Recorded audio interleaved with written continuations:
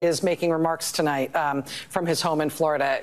As far as we can tell, and what we were prepared for here is that this is basically a campaign speech in which he is repeating his same lies and allegations against his perceived enemies. It is just getting started. Um, so far, he's just giving his normal list of grievances. We don't consider that necessarily newsworthy, and there's a cost to us as a news organization of knowingly broadcasting untrue things. So uh, our deal with you is that we will monitor these remarks. If he does say anything newsworthy, we will turn them around and report on that right away. But uh, for now, just know that it's happening and we're not taking it.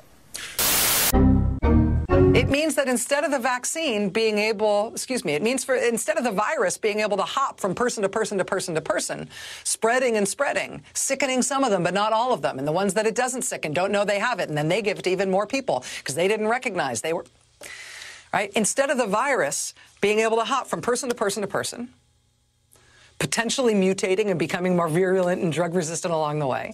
Now we know that the vaccines work well enough that the virus stops with every vaccinated person. A vaccinated person gets exposed to the virus.